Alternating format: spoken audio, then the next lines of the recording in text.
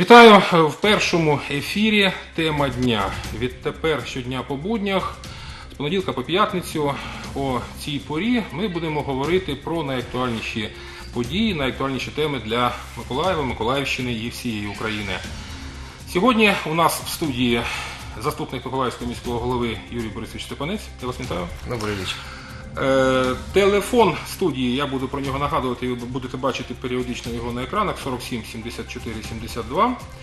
Телефонуйте обов'язково, якщо у вас є е, побажання, запитання сьогоднішньої теми. А говорити будемо про, ну якщо загалом спробуємо е, максимально торкнутися питання мафів у Миколаєві, тобто малих архітектурних форм. В першу чергу, звісно, йдеться про торговельні точки. А приводом для сьогоднішньої програми стало сьогоднішнє рішення Миколаївського міськвиконкому, котрий відмовив подовжити договори власникам кількох мафів по центральній вулиці, по вулиці Соборній. Е, Отже, будь ласка, телефонуйте, якщо вам є що сказати з цього приводу. Ми будемо в ефірі майже півгодини вже. Юрій Борисович, в чому причина сьогоднішнього рішення? Чому почали з Соборної, чому саме ці точки? Ну, далі продовжимо. Ну, к данному решению мы шли не за один день, не за неделю, не за две. Решение было э, подготовлено еще в декабре месяце прошлого года. Э, Причиной послужило, э, так скажем, несколько направлений. Первое это то, что по этой части города уже принята схема ограничений, которая разрабатывала, заказывала разработку управления нашей градостроения и архитектуры, разрабатывало коммунальное предприятие наше. И по данной схеме на улице Соборной и прилежащих улицах не должно находиться никаких э, временных торговых сооружений. То есть э, так построены правила градостроения, что там не должно находиться торговых точек. И вторая причина, почему именно начали соборно, я сказал уже, первое, это принята эта схема ограничений, и второе, э, некоторые предприниматели э, начали активно действовать в плане того, чтобы заме- замещать свои торговые сооружения на более объемные, которые занимают больше места, менять их архетип, и поэтому э, пошли жалобы со стороны населения, было несколько жалоб со стороны Тобто розросталися. депутатов да, городских принять срочные меры, поэтому это решение было подготовлено, но вывесило на сайте горсовета положенных 20 рабочих дней. Это было плановое решение исполкома э, по поводу того, чтобы не выдавать сервитуты на данные торговые сооружения. Что касается в целом по городу, то такие, город разбит у нас на 6 участков и э, продолжается работа в этом направлении. Уже есть э, отработано еще несколько участков э, городских.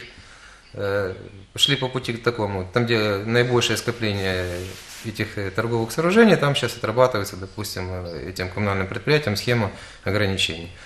Э, Что должно э, выйти на выходе? На выходе, когда весь город будет отработан по этим схемам, будет принята комплексная схема, э, которая предусмотрит, где можно будет расставлять торговые сооружения, причем параллельно заказаны сейчас архетипы данных сооружений, то есть все сооружения будут по одному архетипу, либо их будет несколько, но не будет такого там у нас разнообразия, которое мы на сегодняшний день наблюдаем. Да, там у кого-то там такая будка, у кого-то такой-то киоск, у кого-то такой-то павильон, там, кто из чего хотел его сделал по своему там э, плану или по своим каким-то Ще одна проектам. уніфікація нас Да, чекає. будет унификация этих торговых сооружений. И тогда и э, к чему мы должны прийти, это то, что торговые сооружения временные должны находиться именно на тех местах, которые будут определять эта комплексная схема, и они будут унифицированы, по единому архетипу будет сделано. Ну, пытаемся к этому идти, по крайней мере. Е, Хочу нагадати і собі, і глядачам. Ви, крім того, що ви заступник е, міського голови, як заступник, е, це не зовсім ваша тема як заступника, але ви ще є е, керівником комісії, нагадайте, як називається, із благоустрою. По порядочную, упорядочению объектов торговли. Із Да. благоустрою так, е, об'єктів чи впорядкування об'єктів торгівлі. Тобто, це ж таки тема ваша. Е, Ці принципи, за котрими управління архітектури і ну, які ще структури до цього причетні, розробляють оці плани із е, впорядкування, скажімо, і зміни вигляду тих самих вулиць е, міста. Якщо ви в курсі знову ж таки, на чому вони базуються, це досвід інших міст, країн, чи це наше таке ноу-хау місцеве? Ну, первое, на чем должно все базироваться, это на законодательстве. К сожалению, я не знаю, каким образом раньше принимались э, решения по сервитутам, по аренде земли, под отвод э, э, торговых сооружений в нашем городе. Поскольку если посмотреть законодательство действующее, оно действует довольно-таки давно, Есть там державные стандарты Украины, есть державные будивельные нормы, которые определяют, на каких расстояниях, где там, что можно размещать. Там. К сожалению, эти стандарты нарушались очень часто. Там. И комплексные схемы, которые изготавливали раньше там, и утверждались на сессиях депутатами, они явно не соответствовали там, тому градостроительному законодательству, которое существует и существовало на тот момент. Поэтому, думаю, прежде всего, э, управление архитектуры должно исходить из тех действующих норм законодательства, которые на сегодняшний день работают. Нормами определены четко расстояние, где можно располагать, какие сооружения там. Э, Четко определено э, приказом Минрегионбуда, что э, необходимо разработать комплексную схему, по которой будут эти торговые объекты устанавливаться. И в принципе, если мы э, выполним, э, соблюдем то законодательство, которое действует на сегодняшний день, то мы уйдем, и это важная такой составляющая, как коррупционная составляющая. Что не секрет, что мы все прекрасно А в нас на понимаем, что стаціонарні Да. торгові Якщо точки буде не буде комплексна схема, поширюватися корупційна Будет комплексная практика? схема, по сути, эти места, которые будут определены на комплексной схеме, где можно расставлять э, торговые объекты, э, должны выйти на аукцион. С аукциона должны предприниматели купить эти места и поставить свои объекты в соответствии с архетипами, которые будут приняты. Тобто корупційна, ви маєте на увазі, складова е, виключається. Коррупционная складовая Та, що не включает можна то, что домовитися будут з принимать да, конкретним решения в пользу кого-то там определенного, кому-то будут отказывать, а кому-то будут там давать добро. Этого не должно быть. Тобто не Подход буде должен быть- контакту між підприємцем і чиновником конкретно, Да, так? да, да. Подход должен быть один ко всем одинаково. Должны быть правила четкие, прозрачные правила, которым может пользоваться каждый наш горожанин, там, а не кто-то определенный. Там. Я нагадую нашим глядачам, що ми готові приймати ваші дзвіночки за телефоном студії 47 74 72. А зараз запропоную вам невеличкий відеосюжет. Е, Сьогодні ж по гарячих слідах його відзняла Катерина Лисюк. Е, Вона цікавилась у тих, з ким встигла поспілкуватися на вулиці Соборній, чи вітають вони таке рішення щодо того, що там не буде таких от пересувних кав'ярень і подібних точок. Будь ласка. Жителі міста, з якими ми поспілкувалися щодо рішення Миколаївського міськвиконкому, висловилися майже одностайно негативно. Люди не бачать причини для зносу мафів з кавою, морозивом чи фастфудом. Деякі аргументували це зручністю, адже часто бракує або місця, або часу, щоб присісти у закладі з горнятком кави. Інші вважають, що відсутність конкуренції дозволить власникам кафе та ресторанів на Соборній безкарно підвищити ціни на гарячі напої. Люди гуляют там, чтобы согреться куда-то там или э, время переждать. Ну, на такой улице, как Советская Соборная, может быть и нужны, потому что здесь люди отдыхают. И поэтому вот сейчас самое время выпить кофе и прочее. А, так, по всему Николаеву. а по всему Николаеву, я думаю, нет большой необходимости. В основном такие районы, как Лески, ЮТЗ, там рабочие, они спешат домой. Мое мнение, в принципе, кофе можно попить и дома. А вот В смотрите, принципе, хорошего кофе на улице не попьешь. Ну, я не знаю, все-таки лучше зайти в серединку и посидеть, а не стоять на морозе и пить его, и чтобы руки отмерзали. И удобно, все, ну, рядом. Подошел, потом холодно, попил кофе и хорошо. Ну, мороженое, конечно, сейчас неуместно, ну, летом хорошо. Очень удобно, прогуливаемся и э, по ходу можно выпить горячего чая, кофе. Я считаю, это очень удобно. Не всегда есть по времени даже возможность зайти в кафе посидеть. На главное нет, а вообще нужны. А почему? Холодно. Когда будет тепло, тогда будет нормально. Без кофе можно обойтись. Да нет, они не мешают. Когда мы будем да, прогуливаться, допустим, в холодную погоду, захочется выпить вкусный капучино или латте. И что делать? Нужно заходить обязательно сидеть в каком-то заведении. По любому заведению поднимут цену, потому что ну, альтернатив-то больше не будет. И будет как-то не очень приятно. Я предлагаю оставить самое вкусное кофе. Вот, вот оно, самое вкусное кофе. Либо в горсовете поставят термин, вот этот, кофемашину. Нет, я считаю, это неправильно, если они хотят именно кофе убрать. Можно другими будками почистить, те, которые портят вид нашему городу. А это кофе нет. Я считаю, что это неправильное решение. Я думаю, что у нас город более загрязнен даже не столько этими будками, как э, вот этими рекламами жуткими, этими щитами. А эти будки, считаю, никому из кофе не мешают. Это цивилизация, наоборот, э, культура прийти, просто выпить кофе, съесть мороженое. Я считаю, это нормально для города. Це рішення міськвиконкому залишає більше запитань, аніж відповідей. Чому почали саме з Соборної, а не, наприклад, з проспекту Центрального? Чому більшість зі списку – це мафи з продажу кави, три з яких належать одному приватному підприємцю? Не всі вірять в те, що це дійсно початок процесу очищення міста, а не черговий розподіл вигідних торговельних територій. Сюжет прокоментуємо за кілька хвилин. А зараз маємо телефонний дзвіночок. Будь ласка, слухаємо. Добрый день. У меня такой вопрос. Мы живем вот по Свиридова, и уже сколько мы не обращались, и бывшему голове Сенкевичу. У нас нету ни на автобусной остановке, ни трамвайной. Все нам обещают, обещают. Мы уже на вас будем надеяться. Зупинки немає критої. так? Ответьте, пожалуйста, нам на этот вопрос. Дякуємо. Ну, якщо є що сказати сьогодні. Ну, по остановкам э, надо будет э, подвериться. Вы знаете, что планируется э, бюджет заранее, э, затраты бюджетные распланированы на этот год. Если ваш, допустим, перекресток попал, там где остановка, там в план бюджетные затраты, то, естественно, остановку поставят. Там. Я в любом случае этот вопрос возьму на контроль, посмотрю там и попытаемся чем-то помочь вам. Це теж мав свого роду, так, зупинка, ін- іноді складніше. вони нужны, да. Частіше складно поставити зупинку для людей, ніж все ж таки комусь почати торгувати. Е, З приводу сюжету, ви бачите, в принципі, ну принаймні багато людей, навіть якщо вважати, що там так на таку хвилю потрапили наші кореспонденти, багато людей, котрі не бачать у цьому нічого поганого.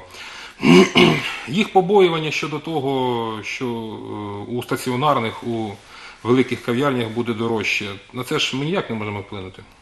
Нет, на это мы не можем никак повлиять, потому что у нас свободная экономика, и хозяева заведения сами устанавливают цену там, э, на свои продукты, там, э, конкурентная способная среда Ну, должна це быть, було они должны риторичне- между собой конкурировать. и всё Риторичне там питання, такое, да. бачите, люди касается, не вірять в те, що Что на касается краще. того, что, э, то, что мы, допустим, уберем эти киоски там или торговые сооружения, временные так правильно не называются, там, и что кто-то станет, там, я хочу заверить, что э, никому там разрешение давать э, на новый какой-то там объект э, не будет. На исполком выноситься не будет однозначно. Что касается, что людям удобно, да, люди привыкли, что э, у нас улица Соборная всегда была пешеходная, что можно было купить э, те же там прохладительные напитки летом, мороженое, либо там зимой кофе, чай попить. Люди к этому привыкли, поэтому вполне понятна реакция людей, что там они, большинство за то, чтобы они там и остались, эти киоски по продаже там, того же мороженого, воды, там, либо кофе, чая. Э, Но я хочу сказать, что в целом э, у нас э, планируется также еще разработать концепцию развития улицы Соборной. Почему произошло сегодня так? Есть какие-то Вибачте, Я градостроительные... перепрошую, щоб Да. не- змушувати чекати глядача. Зараз продовжимо, там ще буде запитання. Будь ласка, слухаємо вас. Алло, добрый вечер. У меня такой вопрос. Значит, в 99 году э, началось такое строительство остановочных комплексов. И я была хозяйкой, и отводила землю одного из остановочных комплексов. Тогда не было понятия вообще малая архитектурная форма. А именно, вот этот остановочный комплекс, которому все сложнее и сложнее продлевать аренду земли, Понимаете? То отли- продлевали на 5, потом на 3, ему 17 лет. Там фундамент, и принимала его госкомиссия, товарищ Вакарь. Теперь вдруг на него распространяются все нормы, что это остановочный, что это малая архитектурная форма. Если скажут его сносить, его подорвать нельзя и снять нельзя, потому что там бетонные блоки, то есть это было капитальное строение, принимала госкомиссия. А Теперь это продлевается на год, продлевается на год. А чаще всего, вот, например, в 14, я- в 14 числа, 14 года, э, в июле, заканчивался срок аренды земли. Как положено, в январе было подано на продление аренды. Продлевали аренду с 14 января, с 21 января и получили договор аренды на год. Пи- э, 21 сентября 2015 года. Год и 9 месяцев. Вот этот дозвенный центр, как на работу.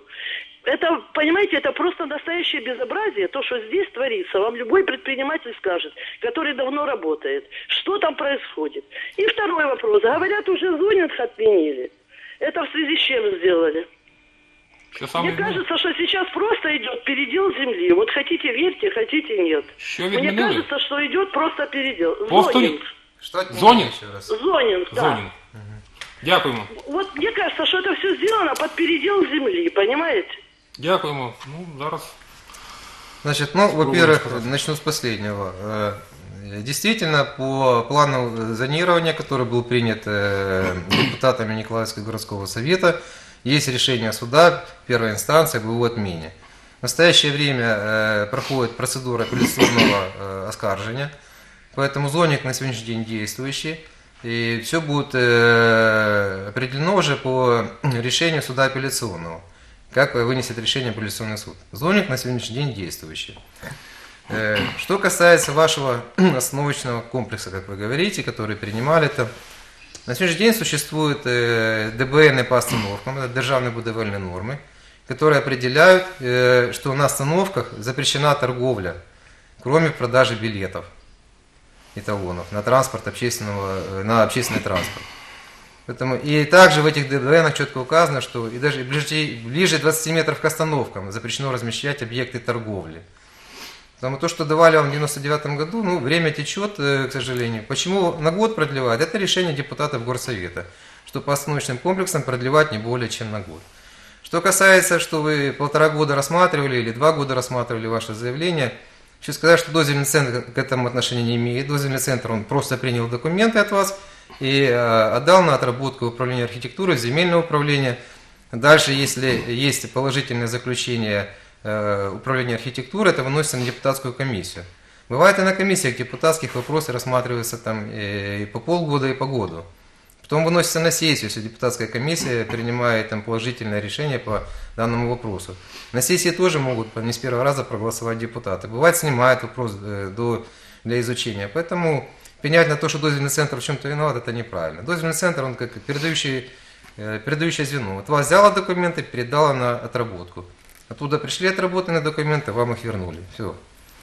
То есть не всегда виноваты чиновники, иногда и депутаты задержаны на вопросе. Но хочу сказать, что э, Татьяна Викторовна Казакова поставила сейчас э, четкую задачу, что документы земельные должны рассматриваться и уже э, выходить готовое решение не позже, чем через два месяца. То есть месяц он рассматривается на комиссиях там, у чиновников, месяц на сессии должно уже быть готовое решение выдано на руки.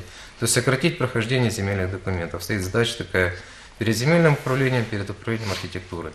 Также она ведет работу соответствующую с фракциями, с главами фракций депутатских комиссий, чтобы они также ускорили этот процесс рассмотрения документов. Ну, я можу припустити, чому сумніваються люди все ж, таки, е, все ж таки в тому, що це робиться все відкрито і щиро. Сьогодні ж, коли пройшла інформація про е, це рішення міськвиконкому щодо непродовження договорів по вулиці Соборній, е, земельна комісія, е, комісія міської ради земельних питань більшістю голосів е, продовжила е, пакетом буквально продовжила відведення і збереження земельних ділянок за е, цілим комплексом торговельних підприємств, в тому числі і ринки тут є.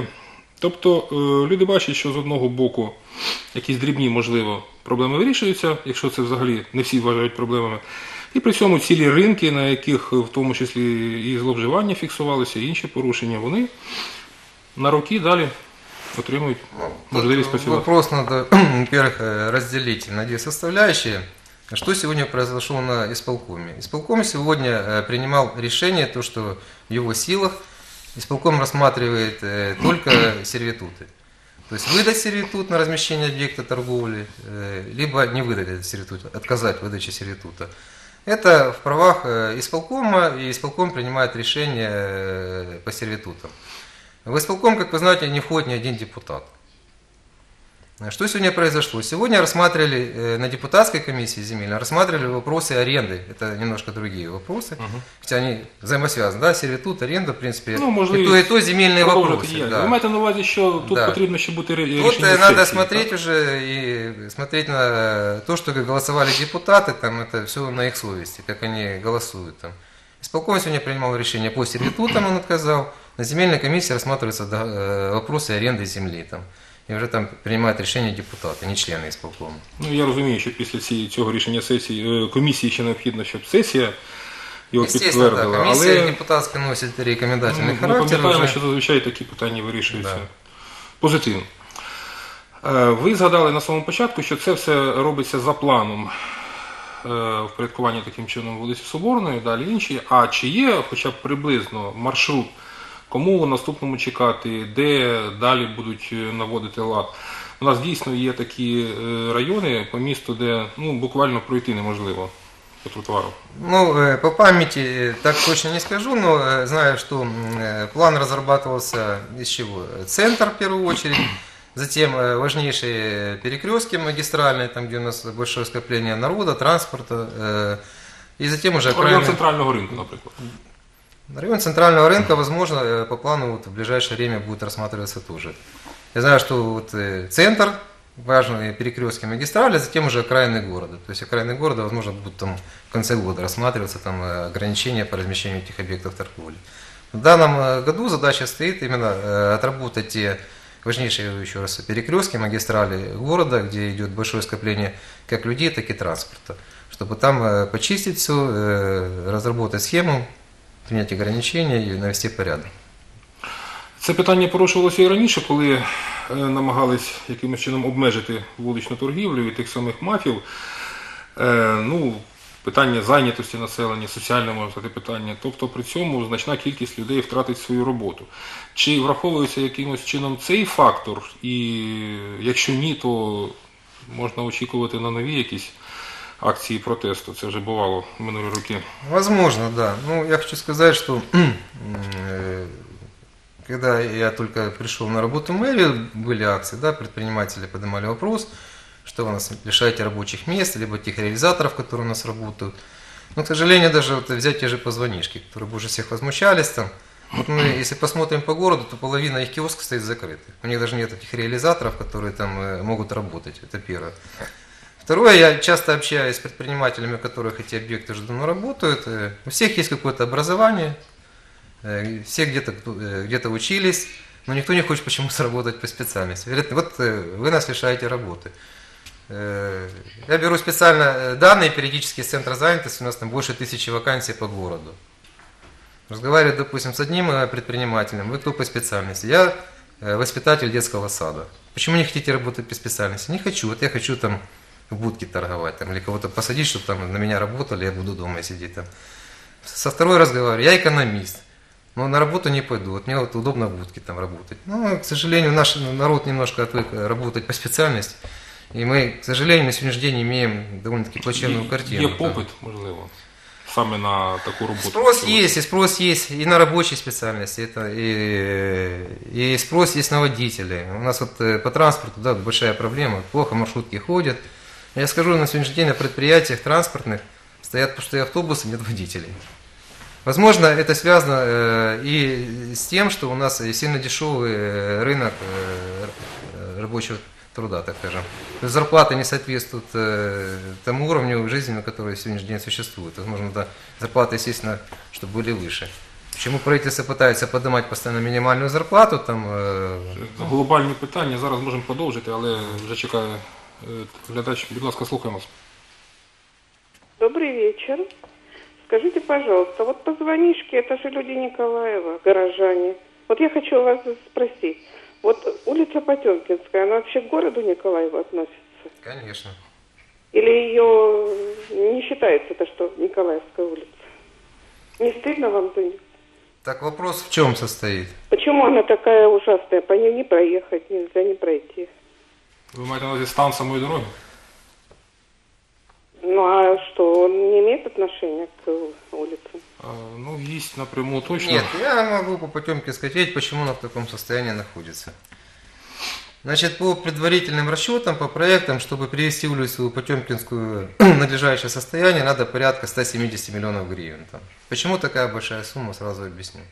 Во-первых, э, чтобы сделать улицу, желательно под ней поменять все коммуникации. Там проходит немало коммуникаций, как э, водопроводных, так и канализационных. Это первое. Второе, э, чтобы привести дорогу на нормальное состояние, необходимо поменять рельсо-шпальную решетку. К сожалению, рельсо-шпальная решетка, которая проходит по улице Потемкинской, вы знаете, что у нас на протяжении всей улицы Потемкинской ходит трамвай, тоже стоит немалых денег. На сегодняшний день таких денег в бюджете просто нет. Просто залатать ямы, сделать дорогу, закатать в асфальт, мы прекрасно понимаем, что ну, максимум на год она продержится. Затем трамвай же разрушит, который ходит трамвай по этой улице, разрушит эту дорогу. Поэтому выкидывать городские деньги, чтобы выровнять дорогу, но на сегодняшний день э, я считаю, что это неправильно. Необходимо провести комплекс работы весь. Я знаю, что и Сенкевич Александр Федорович работал в этом направлении и просил народных депутатов, чтобы привлечь деньги там, из государственного бюджета. Там. К сожалению, мы ни к чему не пришли, но будем и дальше работать в этом направлении. Необходимо привлечь какие-то средства еще со стороны, чтобы капитально отремонтировать данную улицу, чтобы она на долгие годы служила горожанам, а не так, как мы делали раньше. Там, через год ремонта оно ни к чему не приводит. Дякую. Ще дзвіночок є. Будь ласка. Скажите, пожалуйста, когда будут ходить трамваи или троллейбусы в сторону Октябрьского по, по, по широкой балке? Которые столбы стоят, а толку ноль. Дякуємо за запитання. Трошки бачите, ми так розтягнули від мафів на Соборній до К транспорту. сожалению, да, все упирается в бюджет, вы сами прекрасно понимаете, что это не дешевое удовольствие запустить троллейбусную линию в сторону э, корабельного района, и ту же широкую балку. Э, Трамвай это еще дороже обходится. Это троллейбусная линия, я тоже э, смотрел, э, расчеты предварительные, это, по-моему, десятилетней даже давности, чехи нам там рассчитывали, там, стоит там порядка, там, если мне память не, не ошибает, около, не изменяет около 30 миллионов евро. Плюс надо купить подвижный состав, само собой. Ну и я, как сказал, не очень значительное такое замечание, что, к сожалению, у нас сегодня люди не хотят работать на рабочих специальностях, еще будут проблемы у нас с водителями, если все-таки мы как-то запустим это все дело, необходимо еще будут найти водителей на этот подвижный состав, который будет обслуживать наших горожан. Ви знаєте, якби запустити на міські маршрути автобуси середньої і більшої місткості, а тих, хто залишиться таким чином без роботи, підключити до інших маршрутів, я думаю, що вистачило, б, враховуючи скільки газелок Мы, бігає. мы, да, мы рассчитывали и на тех водителей, которые сильно работают э, у нас у частного перевозчика, что, допустим, при приобретении коммунального транспорта большей вместимости освободятся там часть маршрутов от э, э, мелких э, маршруток, так скажем, да, как их называют, там, автобуса малой вместимости, и высвободятся какие-то рабочие руки. Как я сказал, что пока мы купим, наверное, это, э, коммунальный транспорт, уже набирать некого будет, все уедут на работу в Польшу. Поэтому на сегодня вопрос стоит остро по поводу именно э, рабочих специальностей. Это очень острый вопрос на сегодняшний день. Є ще один дзвіночок, у нас буквально три хвилини залишається. Слухаємо вас. Алло. Алло, добрый Доб- вечер. Добрий вечір. У меня к вам такой вопрос. На улице Советской остановка всех маршруток, да? Когда едете в сторону Октябрьского, Широкой Балки, там, везде, с Октября туда, в ту сторону ехать, да? На этой остановке гастроном есть, парикмахерская, что угодно. Там не то, что остановки, даже скамеек нет. Я езжу в церковь, каждое воскресенье я стою, чтобы э, люди стоят и пожилые всякие, даже скамеек нет. Так вот, как там сделать скамейку, чтобы была культурная, с лавочками, как обычно? Пожалуйста. Дякуємо, дякуємо. Облаштування. Вот вопрос, опять же, да, вот мы, по- с чего мы начали? Э, С того, что необходимо там улицу Соборную, там сейчас будет почистить от э, э, торговых сооружений э, временных, э, так называемых киосков, павильончиков. Це скоріше запитання до того до по вулиці Свиридова, що давно просять і нема зупинки. Да, Тут не, я к буквально чему- мафів Я здається хочу нема, сказать, вот але как раз і вот зупинки именно нема. там все связано с этим мафом. Там. Э, на остановке улицы Соборная, проспект Центральный, незаконно был построен МАФ, капитальный причем. Причем незаконно был оформлен как недвижимость. Э, Пока мы под- начали подавать в суд на его демонтаж, З, з іншого боку мається на увазі під готелем Україна. я за него и говорю, Там, да, мгм. да. Там стоит э, павильон построенный, который выше, необходимо выше. снести, да. К сожалению, пока мы подали в суд, там переоформился собственник. Его уже три раза перепродали, переоформили документы. Это у нас сейчас идет судебная тяжба, чтобы расчистить ту площадку, там где должна стоять остановка нормальная, чтобы люди могли сидеть с расписанием там, движения там, транспорта общественного. Нам, мы, нам приходится сейчас судиться, чтобы признать незаконным оформление недвижимости на этот незаконно построенный павильон. Ну, к сожалению, к этому таких случаев и фактов в городе очень много, где ставится какой-то киоск-павильон, ставится на фундамент капитальный, оформляется недвижимость. И все это у нас таких незаконных э, объектов масса по городу. Останні 20 секунд. Е, По Соборній всі е, пересувні мафи, е, прибираючи тільки час? Все те мафы, у которых были сервитуты. Сервитуты. Я еще, говорю, есть еще понятие у нас аренда там. Аренду обычно выдают там на больший срок, там, чем на один год. Сервитуты все на год шли там. Але Аренда і, і обычно по них там на питання больше. теж буде вирішуватися. Естественно, когда дойдет э, срок э, окончания аренды, по ним, по ним вопрос тоже будет рассмотрен. Я вам дякую, дякую усім, хто був з нами протягом цієї програми. Побачимось у цій студії завтра. Все найкраще.